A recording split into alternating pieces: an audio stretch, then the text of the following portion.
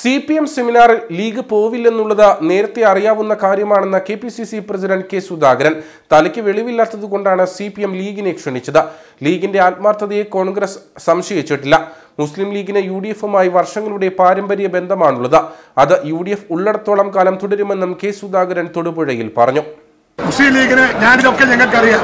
മുസ്ലിം league പോകുമെന്ന് ഞങ്ങൾ ഒരിക്കലും വിശ്വസിച്ചിട്ടില്ല. ഈ ക്ഷണിച്ച ആളുകൾക്ക് തനക്ക് സുഖമില്ലാത്തതുകൊണ്ട് ക്ഷണിച്ചതാ മുസ്ലിം ലീഗിനെ.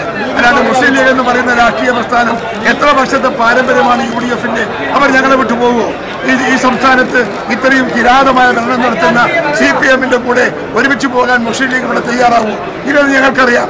മുസ്ലിം ലീഗിന്റെ ആത്മാർത്ഥതയെ ഞങ്ങൾ ബഹുമാനിക്കുന്നവരാണ് ആദരിക്കുന്നവരാണ് ഉൾക്കൊള്ളുന്നവരാണ്. അത് എന്നും നിലനിൽക്കും യു ഡി എഫ് ഉള്ള കാലം വരെ.